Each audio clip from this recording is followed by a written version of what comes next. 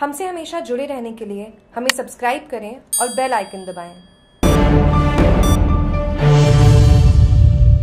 थार नगरी Barmer bike rally सीमा सड़क संगठन की ओर से आज़ादी के 75वीं वर्षगांठ के उपलक्ष्य में नई दिल्ली के राष्ट्रीय युद्ध स्मारक से निकाली गई बाइक रैली सोमवार शाम बाड़मेर पहुँची बाड़मेर में छियानवे आरसीसी ग्रीफ पहुँचने पर ग्रीफ के अधिकारियों और जवानों ने रैली का भव्य स्वागत किया।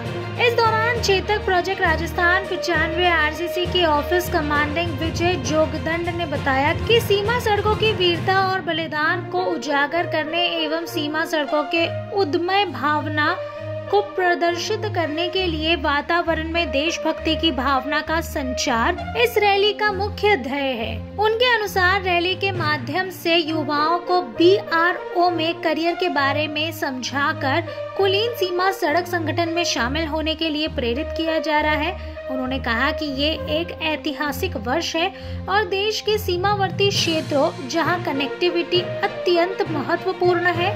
इस तरह के आयोजन से लोगों से जुड़ने और उन्हें सीमा सड़क संगठन की वीरता और बलिदान के बारे में बताने के साथ देश प्रेम के संचार को गति मिलेगी साथ ही उन्होंने रैली को समर्थन देने के लिए हीरो मोटोकॉप और भारत पेट्रोलियम का आभार जताया मोटरसाइकिल रैली टीम में अधिकारी मेजर सुभ्रांश, मेजर आरती भूषण, अरविंद मीना समेत 10 राइडर शामिल हैं। इससे पूर्व बाड़मेर में रैली के प्रवेश पर दोरी मन्ना उपखंड मुख्यालय पर धोरी मन्ना, टाइगर लाइन ग्रुप के संयोजक प्रकाश चंद विशोई सह संयोजक श्री राम ठाका, सरपंच मनोहर तेतरवाल ललित संकलेचा, डॉक्टर खेमराज कड़वासरा उमेश राव, दीपक सेवदा समेत ग्रुप के सदस्यों और ग्रामीणों ने रैली का अभिनंदन किया। उल्लेखनीय है कि सीमा सड़क संगठन की ओर से आज़ादी के 75वीं वर्षगांठ के उपलक्ष्य में स्मृति वंश मार्ग, भुज गुजरात से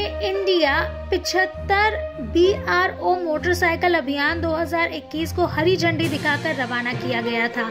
ये रैली हीरो मोटरकॉप और भारत पेट्रोलियम के सहयोग से आज़ादी का अमृत महोत्सव के रूप में स्वतंत्र भारत के 75 वर्ष चिन्हित करने के लिए आयोजित की जा रही है। रैली में भाग लेने वाले 10 बाइक सवार बॉर्डर रोड से बाड़मेर, बीकानेर, अमृतसर, फिरोजपुर से गुजरात हुए 25 दिसंबर 2021 को दिल्ली पहुँचेंगे।